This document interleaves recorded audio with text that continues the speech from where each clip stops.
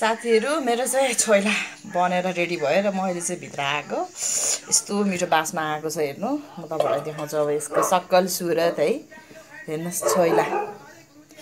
आगोमा नपोले पनि हामीले चाहिँ उसिनेर तेलमा फ्राई गऱ्यो भने चाहिँ जे आ आगोमा पोलेको चाहिँ अब के भन्छ वुड फायरको चाहिँ बास्ना आउँछ र अलिकति चोपिलो हुन्छ भन्छ है।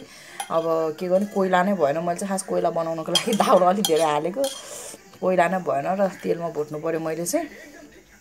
यसलाई चाहिँ पोलेर बनाए नि हुन्छ र भुटेर बनाए नि हुन्छ है भुट्ने पनि पहिला उसिन्ने र यसरी रातो गरेर भुट्ने र यसमा चाहिँ सबै मरमसलाहरू टक्क टुक्क हुने गरेर हालेर चाहिँ खाना यस्तो मिठो हुन्छ चाखिहाल्नु पऱ्यो है। यस्तो मङमङ बास्न आएको छ। यस्तो भएको छ यति चाख्नु पऱ्यो है साथीहरू। वाउ। यस्तो मिठो भएको अझै यसमा चाहिँ के भन्छ अरे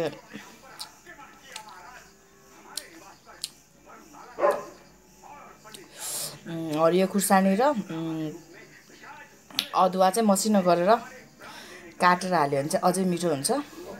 तर चाहिँ मेरो छोरी कालीले चाहिँ अदुवा खाँदैन।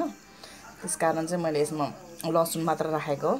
यसमा चाहिँ छोइलाको चाहिँ मेन छोइलालाई मिठो बनाउने चाहिँ अदुवा र के भन्छ हरियो खुर्सानी अनि लसुन हो।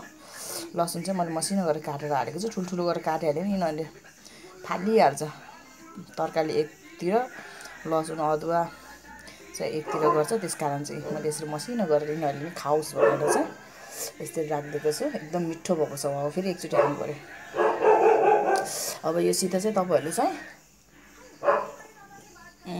चिउरा भुजा खानुभयो भने यस्तो मिठो हुन्छ खाजाको रूपमा आजको मेरो यो भिडियो चाहिँ यति नै अब चाहिँ हामी नेक्स्ट भिडियोमा भेट्नेछौँ। आजको मेरो यो भिडियो कस्तो लाग्यो तपाईँहरूलाई मेरो यो रेसिपी कस्तो लाग्यो?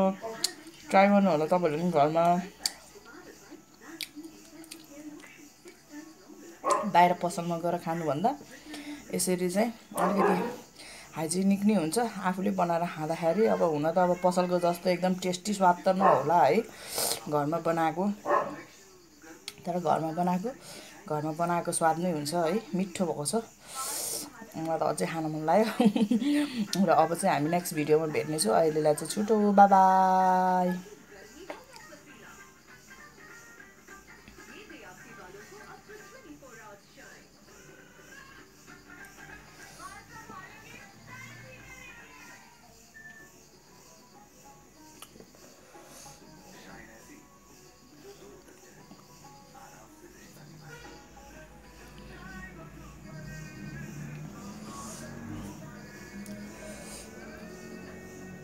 यसमा फेरि मैले अघि राखेको यो नुन राखेँ। मैले चाहिँ आज चाहिँ बाहिर नै आगोमा पकाएको भएर बाहिर नै गरेको छु है सबै कामहरू।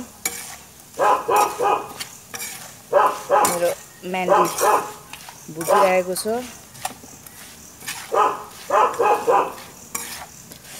साथीहरू कस्तो मिठो बास्ना आएको छ। लाग्ने। र अब यसमा चाहिँ मैले यो गार्लिकको धुलो पनि हालेँ। धुलो होइन चप है।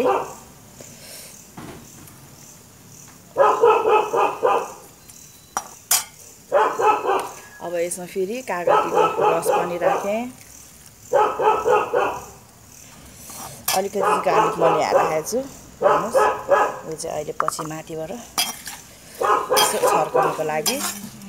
गार्लिक र धनियाँ फेरि यसमा चाहिँ छर्कने हेर्नु साथी कति मिठो भयो। अब योसित चाहिँ तपाईँहरूले चाहिँ चिउरा खाए नि हुन्छ है।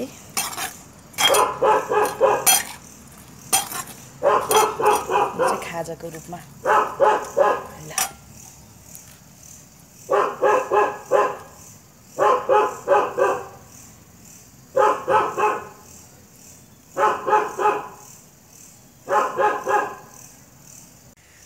मेथीको दाना चाहिँ हल्का ब्राउन कलरको भयो र अब यसमा चाहिँ मसलाहरू राख्ने।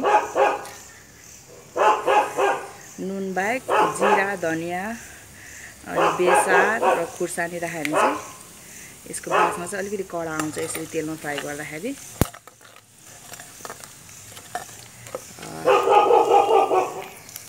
अब चाहिँ यसमा चाहिँ मैले अब यही तेलमा फेरि अघिको मासु राखिदिन्छु मजाले चलाउने। पिरो मसलाको बासमा आयो।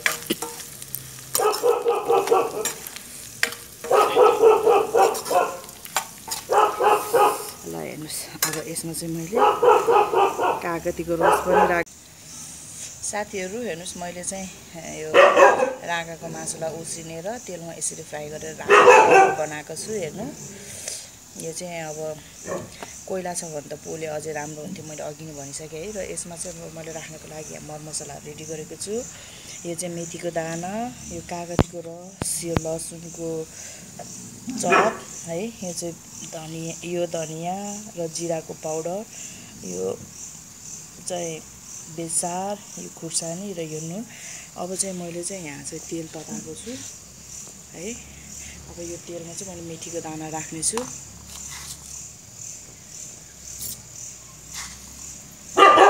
मेथीको दाना दुई चम्चा जति राख्ने यसलाई पुऱ्याउने। र अब त्यसपछि चाहिँ मेथीको दाना पुऱ्याएपछि यसमा भएको बेसार र बेसार अनि जिराको पाउडर र खुर्सानी पनि मैले यो तेलमा नै यसो मसला भुट्नेछु त्यस्तो गऱ्यो भने चाहिँ अझै मसलाको बास्ना राम्रो मिठो आउने गर्छ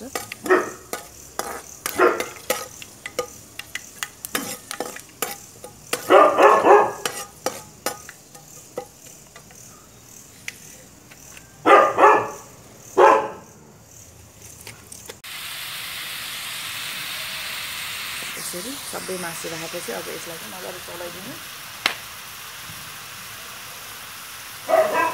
यसलाई चाहिँ फ्राई गर्नु।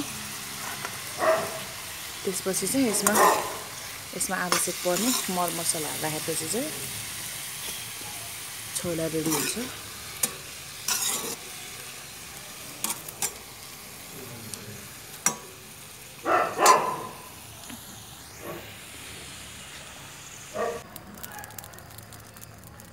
यसमा चाहिँ अब म अलिकति तेल राख्छु। अब चाहिँ यसलाई चाहिँ म चप मजाले भुट्छु भयो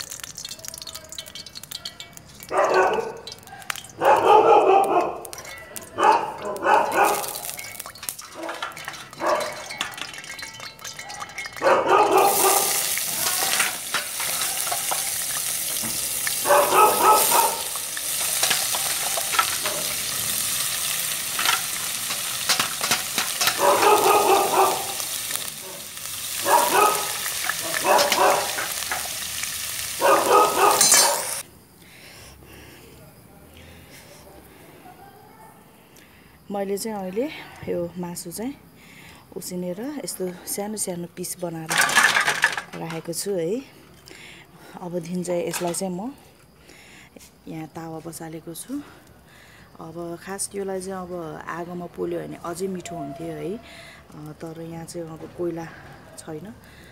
त्यस कारण चाहिँ मैले चाहिँ यसलाई चाहिँ अब डाइरेक्ट यो तावामा अलिकति तेल राखेर अनि मजाले यसलाई भुट्छु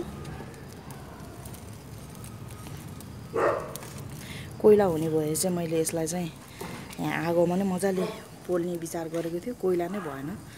त्यस कारण चाहिँ अब यसलाई चाहिँ म तेलमा चाहिँ मजाले भुट्छु।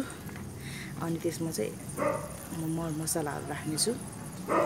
यसलाई चाहिँ यसरी बनाएर खाए पनि मिठो नै हुन्छ।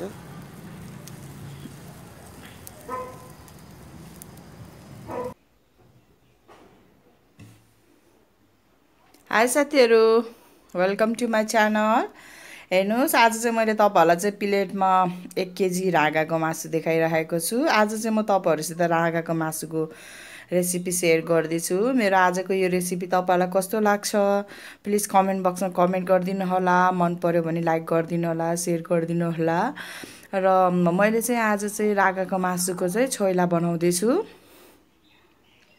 यसमा चाहिँ मैले चाहिँ सबैभन्दा पहिला चाहिँ यसलाई चाहिँ म पानीमा एकछिन उमाल्नेछु पाँच दस मिनट जति। र त्यसपछि चाहिँ म बल्ल यसलाई चाहिँ आगोमा पोल्नेछु। मैले चाहिँ अब घरमा चाहिँ थोरै मसला भनौँ है। अब मसला त मैले धेरै राख्दिनँ।